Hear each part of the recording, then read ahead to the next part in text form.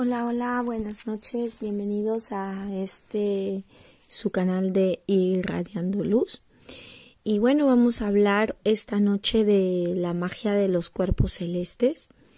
Muchos de nosotros em, hemos escuchado decir eh, regente de los planetas, ¿no? Algunos eh, signos zodiacales están regentes por los astros, por el Sol, por la Luna, otros por Venere, Marte, eh, Venus, disculpen, y Marte, Mercurio y otros. Pero no sabemos eh, el significado y cuál es la influencia que estos pueden dar. Sobre todo, eh, para qué, qué atraen, en qué nos hacen inclinarnos más. Por ejemplo, el sol.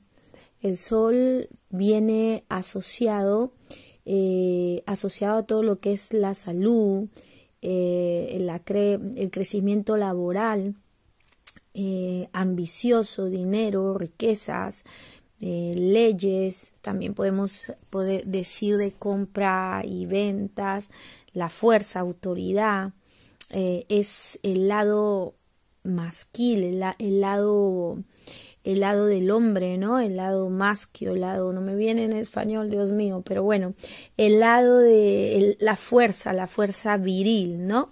Y los niños. El sol ilumina, el sol ilumina nuestro camino, eh, ilumina nuestra existencia, representa la divinidad del hombre, está asociado a todo lo que es el sexo fuerte y nos recuerda su energía autoritaria, dispótica y por un lado negativo arrogante. Esto puede influenciar tanto en los signos que eh, vienen regidos por el astro sol. Mercurio, Mercurio en todo lo que es comunicaciones, viajes, estudio, eh, facultades psíquicas, em, enseñamiento, escritura, memoria, astucia, capacidad para razonar, mucha, mucha elocuencia, sarcasmo, cinismo, eh, engaños y eh, robos. Esto nos puede hablar de las personas que están regidos por Mercurio, o sea que van a tener bastante desarrollado la comunicación, van a querer viajar mucho, el estudio, el intelecto, pero también el lado negativo, mucho sarcasmo, mucho cinismo, son capaces de quizás para llegar a sus objetivos utilizar un poco, ¿no? La trufa, la mentira. Ahora no se enojen, ¿ah? Porque no quiere decir que tú seas así, porque muchos de nosotros podemos dominar nuestro lado negativo. Venus, eh, las personas que están em, regidas por el planeta Venus, nos habla de todo lo que es eh, el lado femenino, ¿no? La delicadeza, la elegancia, las relaciones, todo lo que tiene que ver con el arte, la belleza, la paz, los placeres de la vida, el tacto, la manera de dar afecto, la amistad, el amor, personas muy románticas, muy sensuales, eh, el deseo también por el lujo, por vivir bien, eh, la posesividad, también son muy celosos, son, son románticos en exceso, que a veces caen en la ridiculez. ¿no? Ese es el lado negativo. Tengo que decir lo bonito y tengo que decir también lo feo, ¿no? ¿Por qué? Porque a través de esto podemos dominar y trabajar en nuestros errores para seguir creciendo espiritualmente. Marte, hablo casi siempre de Marte, pues Marte es el planeta eh, inmediatamente sucesivo a la Tierra y por ende su color rojizo, ¿no? Este color rojizo anaranjado nos habla de la función de lo que es la sangre, la pasión, nos habla de la energía del hombre, pero la energía negativa, ¿no? Armas, eh, impulsividad, impulsivo, nos arma de lealtad también aquí, de personas que por pasión son muy leales, eh, tienen un espíritu de iniciativa muy grande, aman la libertad, mm, no son celosos, pero son muy posesivos, egoístas, tienen mucho desiderio sexual, eh, deseo sexual, muy conflictivos, eh, pero tienen esta intrapendencia, ¿no? Estas ganas de em, crecer, vivir,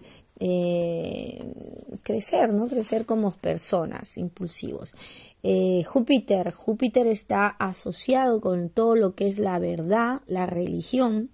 Se apasionará mucho por conocer todo lo que sea afuera, todo lo que sea del éstero, muy optimista, una persona política, son influenciados los que están bajo Júpiter, bajo la casa de Júpiter, ¿no?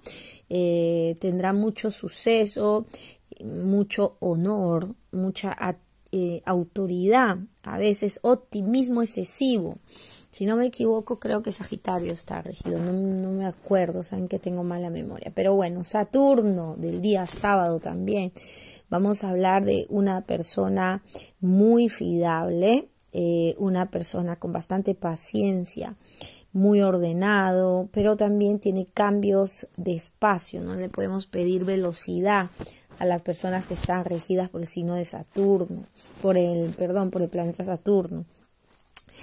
Tienden a deprimirse con facilidad, a alejarse, a cerrarse eh, en sus pensamientos y también pues este la paciencia, ¿no? Tienen muchísima paciencia, lo hacen todo con calma.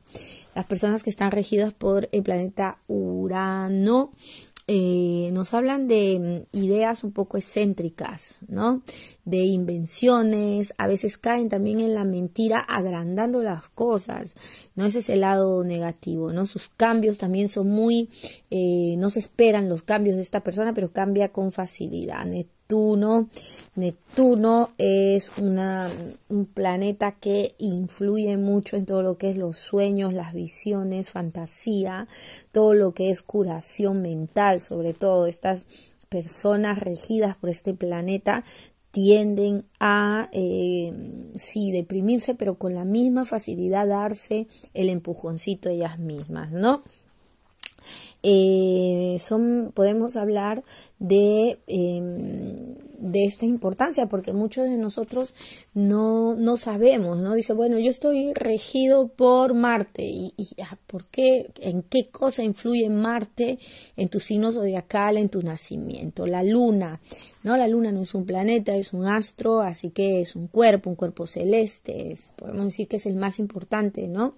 Para todo lo que es las artes mágicas, para todo lo que es Wicano, su influencia en nuestro planeta es enorme. Ya sabemos que gobierna los mares, las mareas, los racoltos, ¿no? las cosechas y que también la fisiología de nosotras, las mujeres, ya sabemos que cuando vamos a menstruar, eh, la luna influye tanto en el crecimiento también hormonal de las mujeres, pero sobre todo aquí estamos hablando de lo que es el regente, ¿no? La luna, la luna, pues el misterio femenil, la psicología, todo lo que son ciencias, la imaginación, habla también de mujeres propios, del nacimiento, la creación, la sensualidad, la espiritualidad, la asistencia, eh, la memoria, ¿no? También aquí podemos eh, relacionarla con las personas regidas por la luna o que tienen el ascendente o que tienen la casa, ¿no? La luna,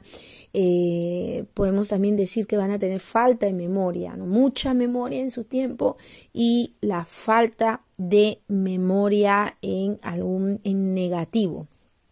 Así que eh, personas que representan la virginidad, representan la esperanza, representan también a veces el lado histérico de la mujer, ¿no? Los cambios de la mujer, eh, mucho, mucho que tiene que ver con el romanticismo en sí. Esto era el pequeño video que quería hacer sobre los regentes, sobre eh, la influencia de los planetas y los astros para con nosotros. Un beso y que pasen una feliz noche. Chao, chao.